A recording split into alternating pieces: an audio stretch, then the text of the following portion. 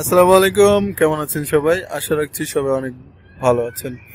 আজকে আমরা আরও একটি বিজনেস আইডিয়া নিয়ে আপনাদের সামনে হাজির হয়ে গিয়েছি। আজকে আমরা কথা বলব ফার্মেসি বিজনেস নিয়ে।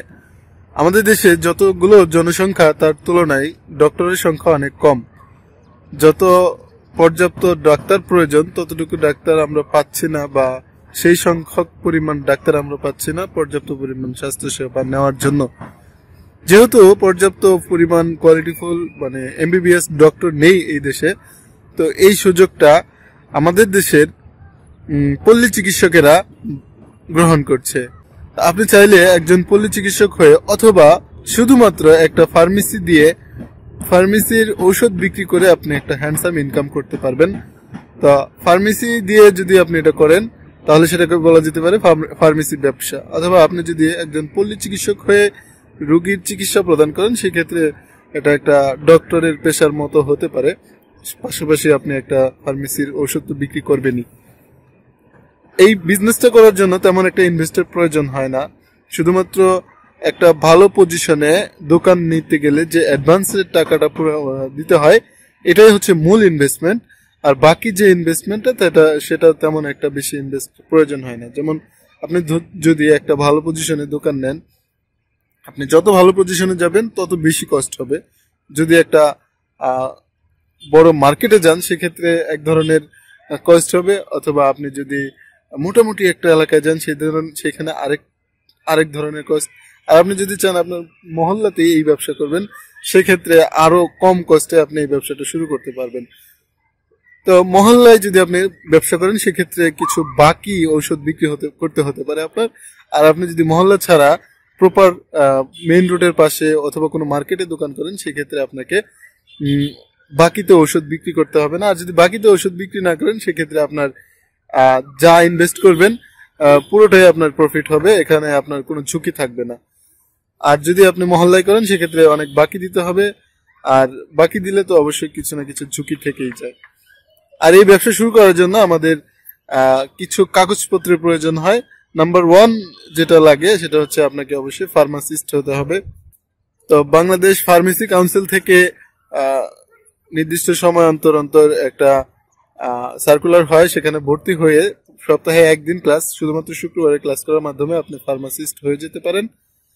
ফার্মাসিস্ট কোর্স কমপ্লিট করার পর, ছয় মাসের কোর্স এটা কমপ্লিট করার পর আপনাকে একটা সার্টিফিকেট দেওয়া হবে বা লাইসেন্স দেওয়া হবে, যেটার মাধ্যমে আপনি A category B category C category তিন ক্যাটাগরির লাইসেন্স দেওয়া হয়।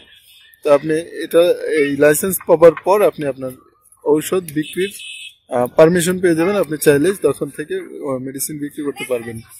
এখন আপনি যদি গ্রামে একটা ফার্মেসি করেন, সেক্ষেত্রে আপনার আশেপাশে কোনো হসপিটাল থাকবে না। আর যদি হসপিটাল না থাকে, সেক্ষেত্রে আপনি ডাক্তারের পর প্রেসক্রিপশন পাবেন না। আর প্রেসক্রিপশন না পেলে আপনি ওষুধ বিক্রি করতে পারবেন না। যদি আপনি প্রেসক্রিপশন ছাড়া ওষুধ বিক্রি করতে চান, সেক্ষেত্রে আপনাকে আরও একটি সার্টিফিকেট অর্জন করতে হবে। আপনাকে পল্লী চিকিৎসকের একটা কোর্স করতে হবে। অনেক সময় এটা এক বছরের কোর্স থাকে, অনেক সময় এটা ছয় মাসের কোর্স থাকে। সপ্তাহে অনেক জায়গায় দুই দিন, তিন দিন, আবার অনেক জায়গায় সপ্তাহে একদিন ক্লাস হয়। এখান থেকে আপনি একটা কোর্স করে নিতে পারেন পল্লী চিকিৎসকের, তাহলে আপনি নিজেই চিকিৎসা দিতে পারবেন। আর যদি আপনি পল্লী চিকিৎসক না হয়ে একটা মেডিসিনের ঔষধ মেডিসিনের দোকান দেন বা সব দেন সেক্ষেত্রে কিন্তু আপনি চিকিৎসা দিতে পারবেন না, শুধুমাত্র প্রেসক্রিপশনের ওষুধ বিক্রি করতে পারবেন। আর যদি আপনি মাতবরি করে, পণ্ডিতি করে যদি ওষুধ বিক্রি করেন বা ট্রিটমেন্ট দেন, সেক্ষেত্রে আপনি আপনার, আমাদের দেশের আইন অনুযায়ী অপরাধ করবেন এবং সেক্ষেত্রে আপনি অনেক ক্ষেত্রে যদি কোনো ঝামেলায় পড়েন, সেক্ষেত্রে আপনি ঝামেলা পড়তে পারেন। মানে এই, যদি আপনি পল্লী চিকিৎসকের সার্টিফিকেট ছাড়া কোনো রোগীকে ট্রিটমেন্ট প্রদান করেন, সেক্ষেত্রে যদি কোনো সমস্যা হয়, সেক্ষেত্রে আপনি আইন অনুযায়ী আপনার বিরুদ্ধে পদক্ষেপ নিতে পারবে আর কি, প্রশাসন। আর প্রত্যেকটা ব্যবসা করার জন্য ট্রেড লাইসেন্স তো অবশ্যই লাগবে। মুদ্রা কথা, আপনাকে এই ব্যবসা শুরু করতে হলে এক দুই লাখ টাকা ইনভেস্ট হলে যথেষ্ট।